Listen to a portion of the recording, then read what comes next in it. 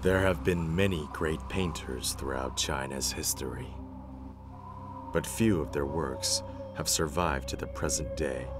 Warfare, defacement, and other factors in the murk of the past have rendered them lost to the ages.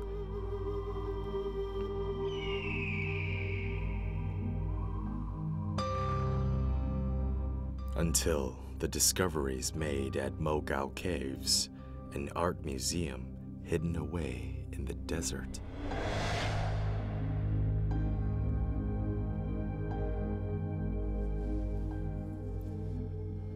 In these caves, we have found 45,000 square meters of well preserved frescoes created in a period of over 1,000 years. Between the 4th and 14th centuries, these artists remain anonymous to us, but left behind them valuable historic artwork. History has left behind little recordings of their lives. As such, we can only piece together the traces of information about their existence from the frescoes and documents found in Dunhuang.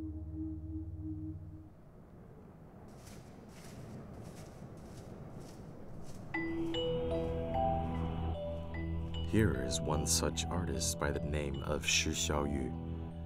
His bare bones biography is based on research by experts, piercing together clues. His name appears on the western wall of the number 3 cave at Mogao, next to a fresco named the Thousand Handed Guanyin of Sihai. Some have determined that the frescoes of that cave were drawn by Xiaoyu, but others believe that he was just a tourist from the Yuan dynasty who left behind some graffiti. In the following story, we shall borrow his tale in order to fill in the history of the magnificent artwork of these ancient caves.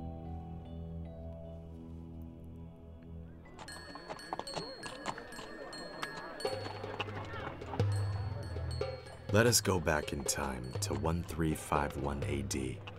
Earlier this year, Shi Xiaoyu had moved from Ganzhou to Dunhuang.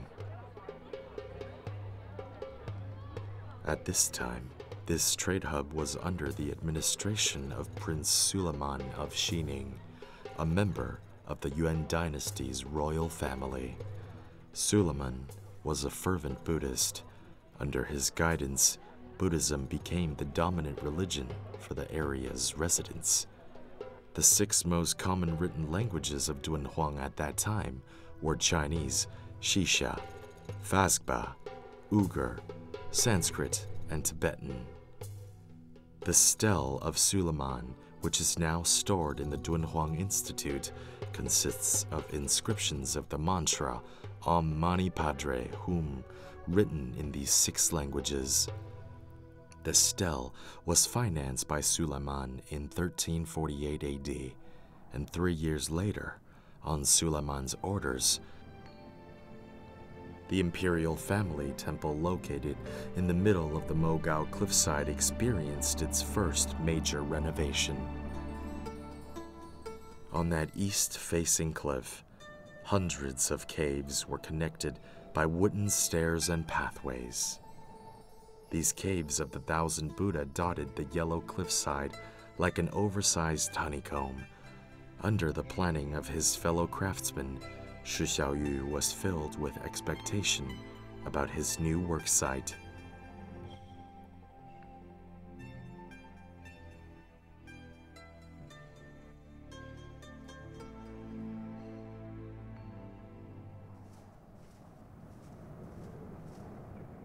Depictions of the monks of the old can be found whilst wandering around these ancient caves.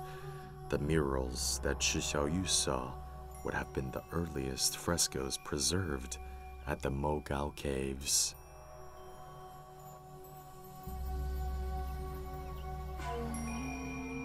The construction of the Mogao Caves began to aid the monks in their meditations. They must help the meditating monks to achieve a state of enlightenment and serenity. The decorations found in the caves must aid this goal. These early murals all depicted events that happened in Buddha's life.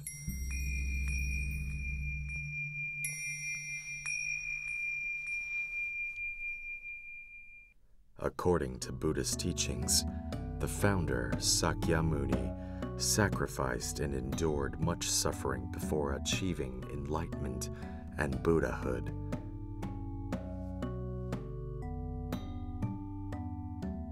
In one story, while serving his realm, the prince Mahasattva chanced upon several tigers on the brink of starvation and decided to feed himself to them. However, by this point the tigers had lost all their strength due to the hunger and were unable to devour him.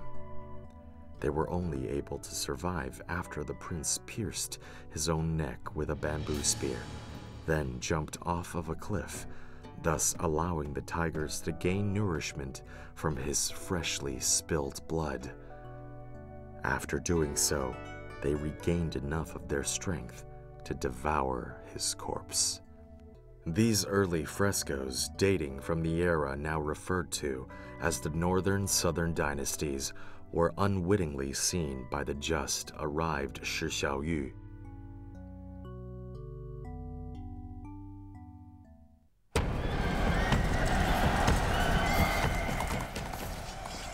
At that time, China's northern regions were in a constant state of low intensity conflict. With such instability, China's culture faced its first major schism. The long suffering population sought comfort in the promises of peace in the face of their suffering promised by Buddhism. It was in this time that Buddhism first began to flourish in China.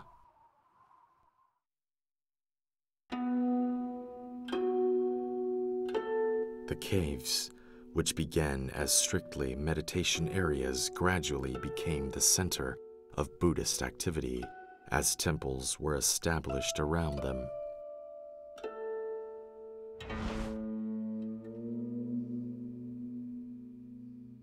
Mogao Caves became a pilgrimage destination along the Silk Road. The frescoes drawn inside the caves, aside from depicting the activities of the past, Buddha before he ascended now began to depict the present Buddha, Sakyamuni, and his exploits. This is the chronicles of Sakyamuni from he was born until he ascended into Buddhahood. This is the story of how the influence of Buddhism convinced 500 irredeemable bandits to lay down their arms in that instant convert. These easily understood drawings depicting the glories of Buddha and Bodhisattvas, helping the less knowledgeable converts to understand the teachings of the faith. But what drew Xiaoyu's attention was not the moving tales that the drawings depicted, but the craftsmanship of the art itself.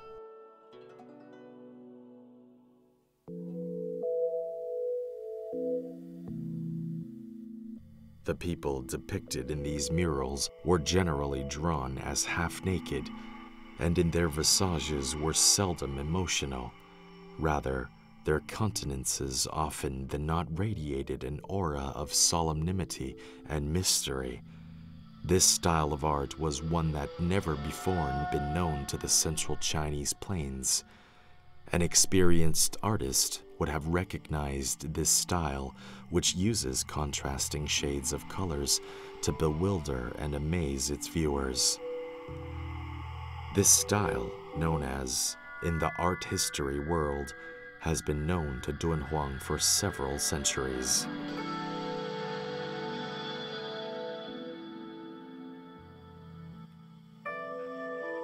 This is a photograph of the fresco taken in April of 2007.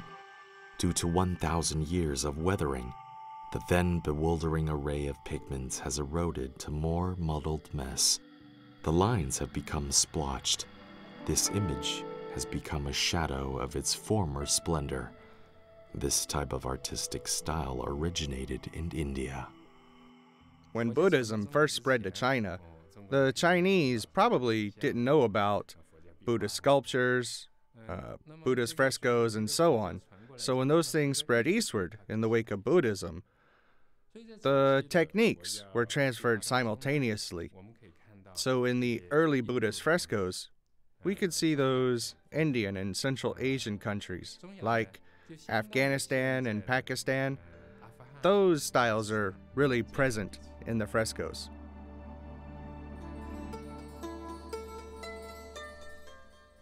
These imported styles ushered in new vitality for traditional Chinese artwork.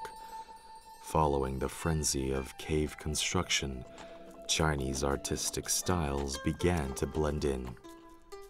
In the 6th century AD, a group of artisans from Luoyang put on their own spin on Mogao's cave murals.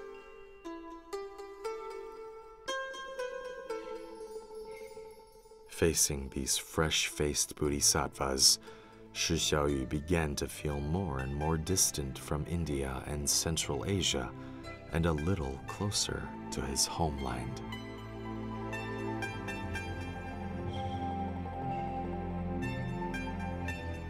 Those images adopted the Chinese style of noble elegance, skinny bodies, flowing clothes, natural eyes, and lips. This type of elegance was signature look of the great artists of China's southern dynasty. Chinese clothing and cultures, as well as the flavor of the southern masters, became the new norm of the Mogao Caves.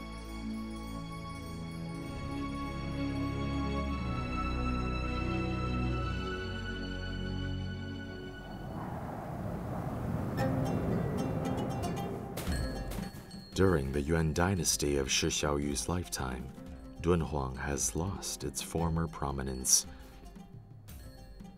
But in a time like this,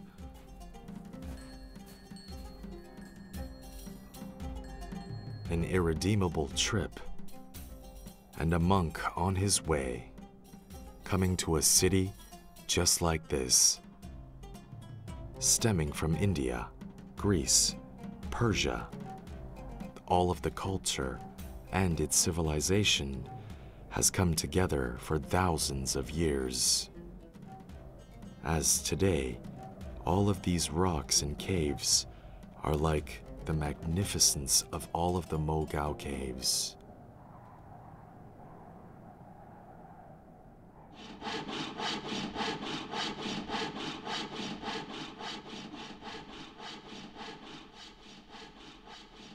After the workers completed cleaning up the imperial family's temple, they added new murals to the structure's walls. As far as researchers understand, designing the layout of the new murals was a very lucrative and popular business. These sketches brought to France by Paul Pelliot are blueprints used by Tang era craftsmen for the designs of Dunhuang's murals. The drafting, color coordination, and even inscription of the accolades, each had specialized craftsmen dedicated to each task.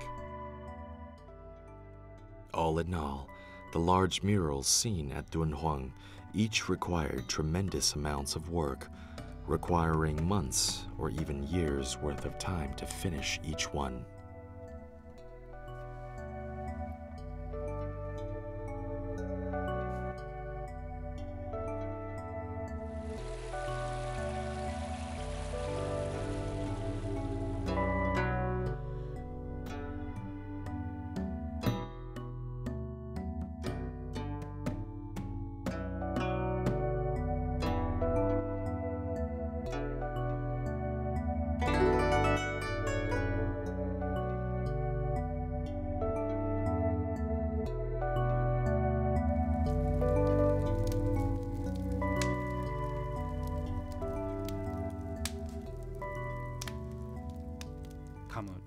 Workers are underfed, underclothed, and prone to diseases. Normally, they had two meals a day breakfast and dinner. Breakfast was a wheat based item called botuo, while dinner was generally two he pancakes. The he refers to the way that the cakes were made. The modern day equivalent would be what is called Nan in Xinjiang, or what Han Chinese called Wubing. The workers of the Mogao caves led harsh and lonely lives. At any given time, they were working under any number of great artists, but this fact did not change their sad fates. A short poem found within the Dunhuang manuscripts reflected their conditions. Craftsmen can learn if they're willing, but their bodies enslaved, wedded to the government.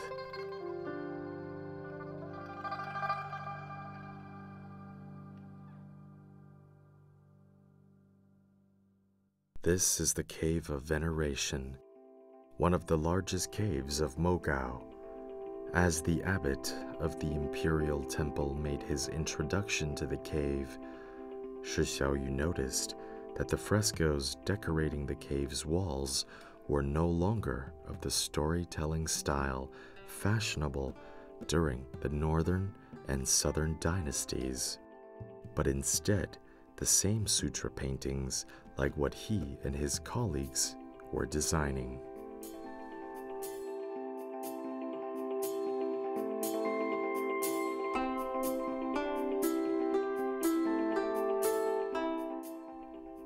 These frescoes, called sutra paintings, used images to explain the concepts found in certain sutras. This painting is a Tang era depiction of Buddhism's Western Pure Land, where Amitabha is said to reside. The Pure Land, also known as the Western Paradise, is said to be a land of plenty, which is filled with joy and devoid of suffering. In order to depict this marvelous land, the artists filled the painting with beautiful scenes fitting of such a description.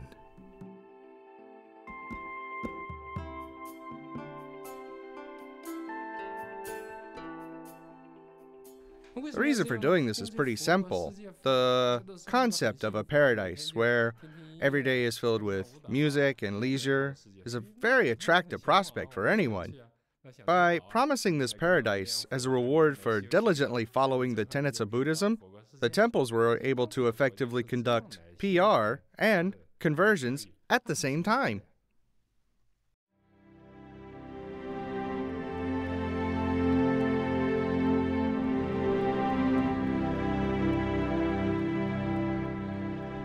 These sutra paintings were a unique innovation of Chinese society, which was experiencing a period of social stability and individual enrichment. The divisions of the northern and southern dynasties ended when the Sui dynasty finally conquered all of China. In the following Tang dynasty, Chinese society entered a golden age. During that time period, the popularity of Buddhism reached previously unparalleled heights. This surge in popularity also led to the diversification of Buddhist thought, giving birth to sutra paintings as an art style.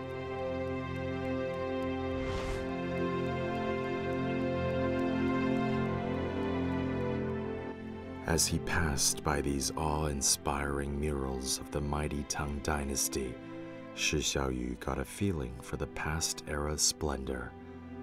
The people's expectations for a beautiful afterlife were all reflected in each and every artistic heaven, courtesy of the craftsman's predecessors.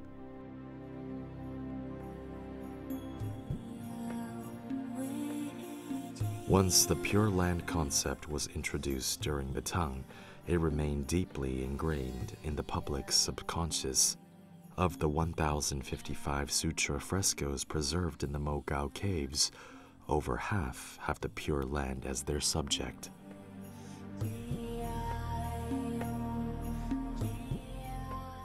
Due to the belief that the Bodhisattva Guanyin could help people to escape the world's suffering, Guanyin's worship was very popular during the Tang.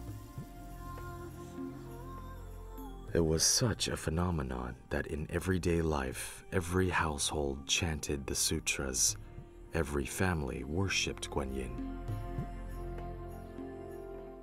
No matter if it's the traveling merchant encountering bandits, the prisoner about to face his execution, or the sea captain trapped in a storm, all prayed to Guanyin. According to the Lotus Sutra, when faced with any of the 33 dangers, so long as you besought Guanyin, her will would manifest itself to save you.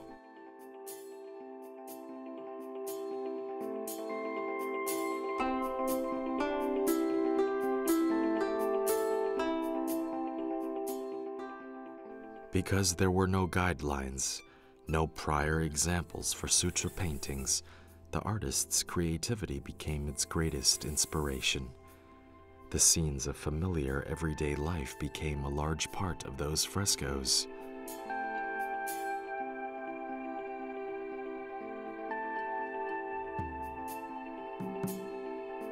It is also because of artistic license that the originally masculine Guanyin became feminine in appearance.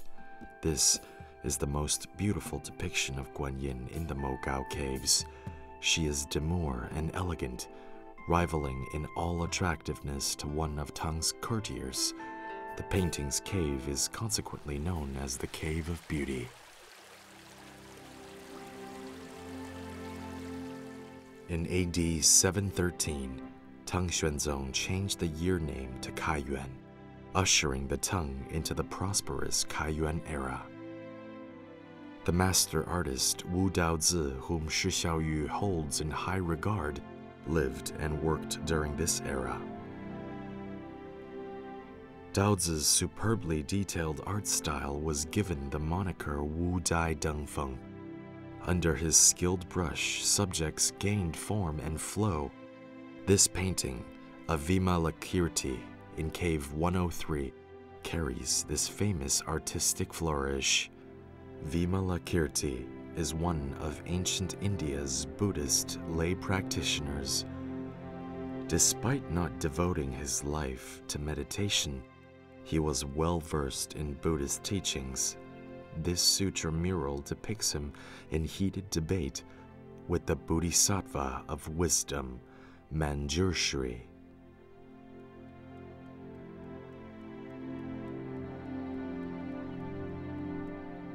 Vimalakirti was greatly admired by the educated officials of Chinese society, so his visage in Chinese art has adopted their appearance and attire.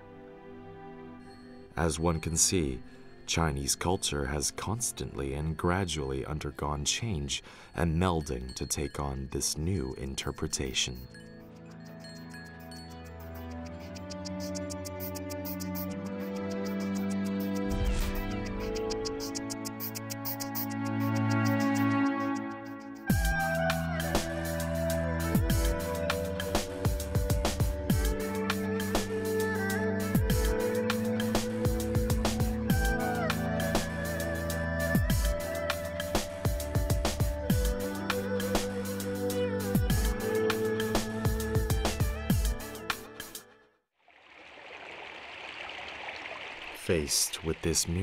Of sutra paintings, Shi Xiaoyu was filled with a sense of curiosity. These murals chronicled the development of Buddhism in East Asia, yet none of them contained a hint at their creators. Just who was responsible for creating these ancient murals?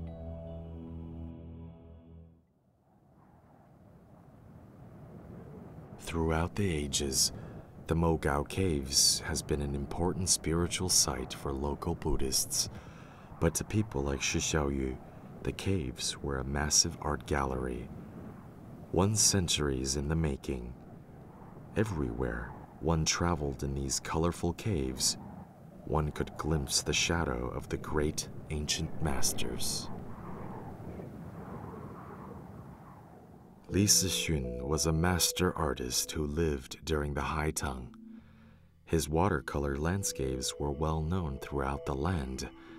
His influence is reflected in these Mogao murals, which have taken on aspects of his artistic style.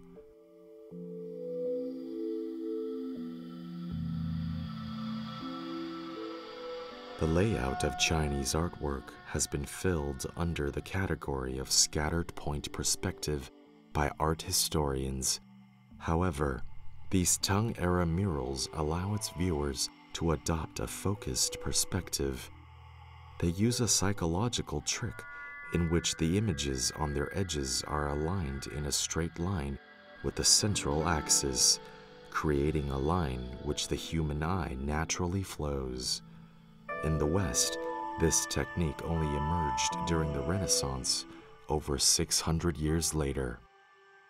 This linear perspective is the main technique of Chinese artwork. From his start, Shi Xiaoyu did his utmost to use this technique to capture the majesty of life. The Mogao Caves project was his best chance to showcase the lessons that he learned. The wild bison and boars that leap out of these frescoes were born from the skilled hands of artists from the Western Way. This portrait of Vimalakirti from the Sui dynasty is an example of a line-based drawing. Penmanship is a paramount, as it should be. In art history terms, this is a sparse style. Shi Xiaoyu obtained a lot of experience on various drawing techniques from the detailed art left behind by his ancient predecessors. But while he was looking at all this work, he began to think were all of these paintings done by the local artists? Or some of them done by artists closer to home?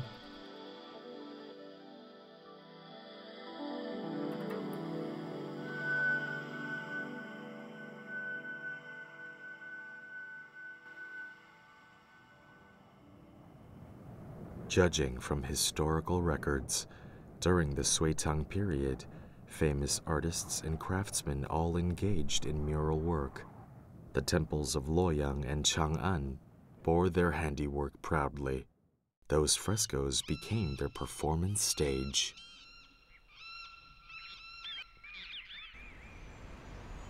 This is the city of Xi'an in Shaanxi province. This former dynastic capital is still a bustling city However, the traces of the former master's work has long since vanished in the fires of war. The relationship between Dunhuang and Chang'an has been very close from the North South dynasties to the Sui dynasty. Thus, much of the artwork in Dunhuang can be said to be the same quality of that as in central China. There isn't much artwork from that era present in central China nowadays, but there is a lot of it in Dunhuang. So, if one wishes to learn about the development of art before the Song dynasty, Dunhuang's fresco is an absolute must see.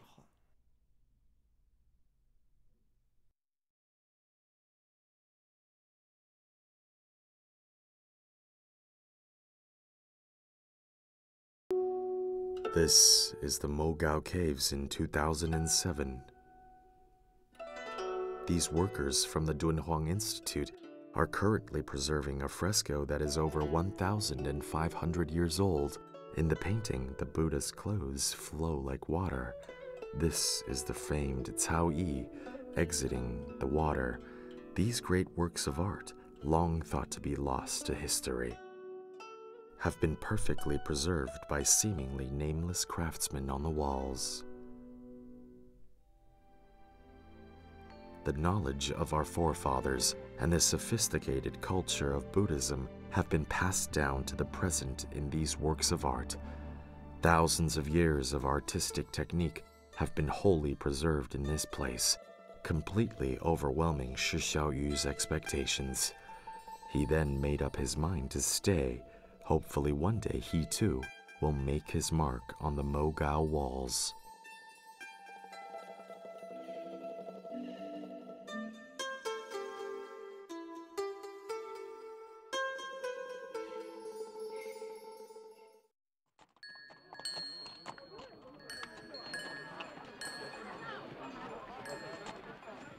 Over a period of more than a thousand years, The popularity of the Mogao caves drew in large numbers of artists and craftsmen to ply their trade.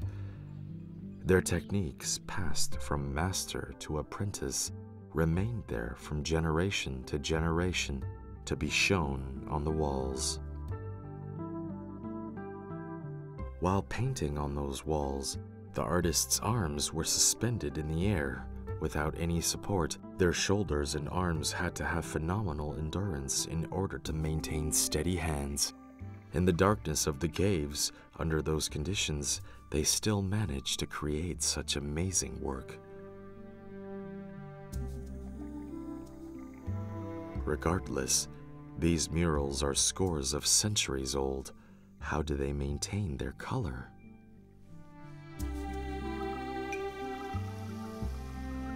These are tools that the Dunhuang craftsmen of the Tang Dynasty used to make their paints. Now stored in the Dunhuang Museum, at the top of the stone pillars, we can still see traces of red pigment. Tests have revealed that the pigment is inorganic in nature.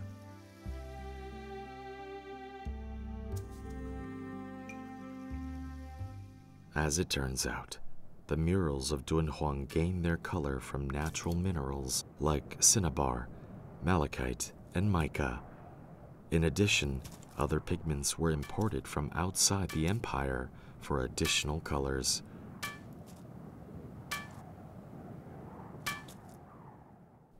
These are color palettes from the Five Dynasties era, and the blue paint they used made from lapis lazuli. Lapis lazuli, which has a beautiful sky blue hue, is a gemstone that is produced in modern day Afghanistan.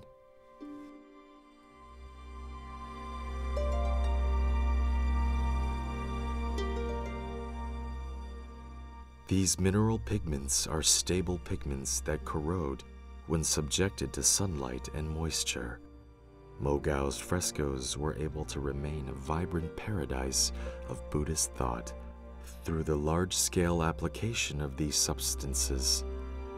However, when compared to a splendor and colorful pastel of the Tang imperial court, Shi Xiaoyu prefers the elegant culture of central China.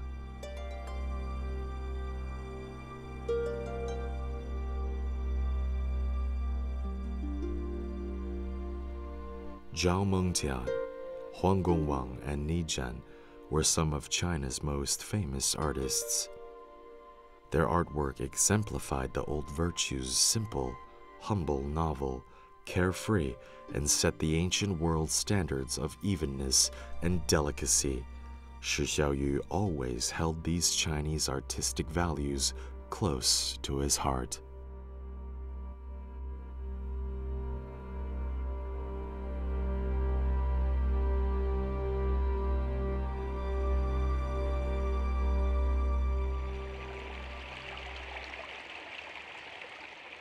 This is Dunhuang's Yulin Grottos, which bears the nickname Gorge of the Thousand Buddhas. Its fresco Samantabhadra transformation has been called the best of the ancient landscape paintings. The mountain ranges, rock formations, courtyards, and pagodas depicted in the paintings are half shrouded by ever present mist and clouds. Whether judging by the painting's layout, the depiction of its subjects, or the usage of its medium, this work is earned its reputation. Even when compared to great artists in central China, the technique of Dunhuang's craftsmen remains impressive. However, this kind of art was seen less and less upon Dunhuang's walls ever since the coming of the Song dynasty.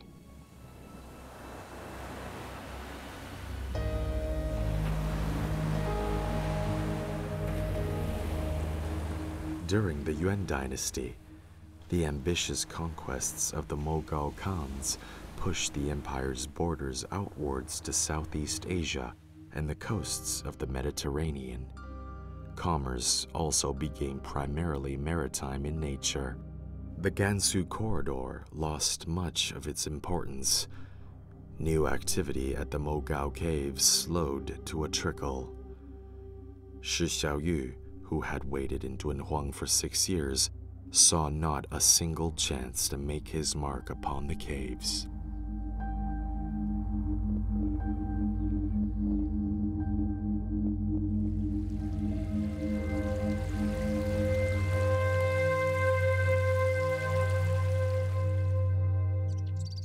This lasted until 1357 AD.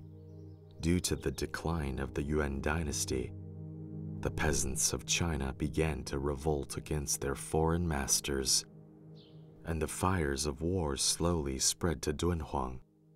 The spring of that year, maybe as a prayer for peace, a new cave was excavated at Mogao. Just like that, Shi Xiaoyu got his wish to make his mark.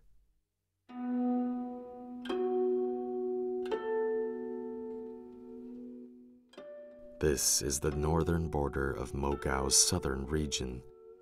This winding path was the only path passing through the ancient Mogao caves. Shi Xiaoyu plied his trade in the number three cave next to the entrance.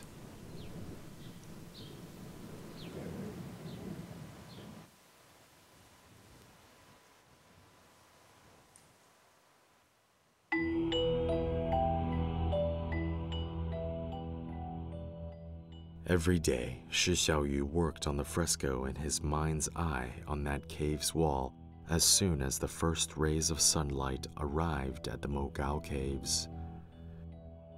In order to best mimic the image as it appeared on paper, Xiaoyu drew and colored on the walls before the plaster even finished drying.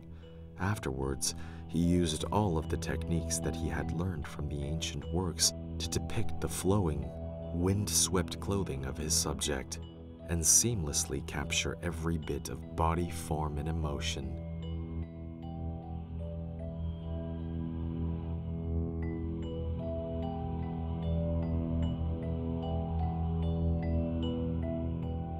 Now, we can feel the depth of Shi Xiaoyu's passion behind the lines and color of this fresco. Behind the inscrutable expression of the Guanyin, there lies a beautiful vision. Oh,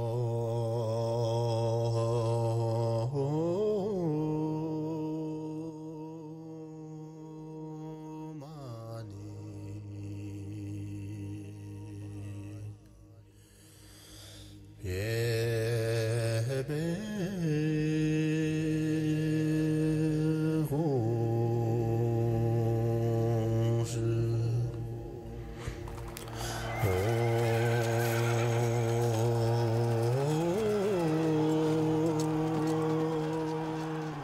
AD 1368, Zhu Yuanzhang's rebel army captured the Yuan capital of Dadu, bringing an end to the Yuan dynasty. Four years later, the Ming general Feng Sheng established the border fort of Jiayuguan at the Gansu corridor, excluding Dunhuang from the boundaries of the empire. The formerly bustling trade hub was turned into a grazing land.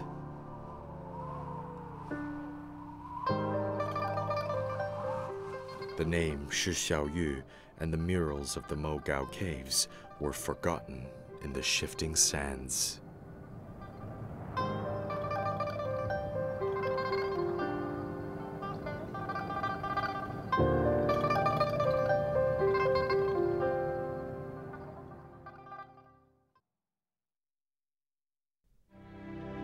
This is the northern region of the Mogao Caves.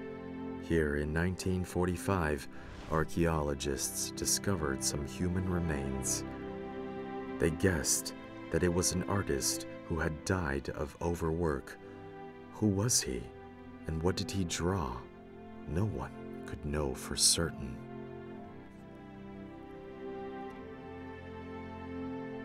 This is the number three cave. It is a small cave and sealed all year round, closed to tourists. Very few people know that this cave contains the most valued fresco of the Mogao cave. However, the academic world confidently say whether it is the handiwork of Shi Xiaoyu. By the 80s, the faint words by Ganzhou's Shi Xiaoyu have long disappeared from the western wall of the cave, but the other remains of his work is still the cause of much conjecture as to his real identity. I humbly beseech the merciful Guanyin, asking of the four mercies, listen to these three requests.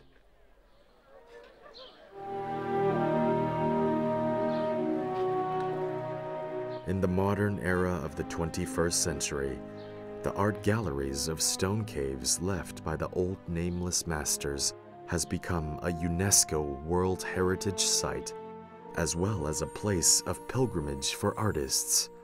Because of these new visitors, the ancient lifestyles of Dunhuang, its Silk Road commerce, and arts and cultures have been given a new life.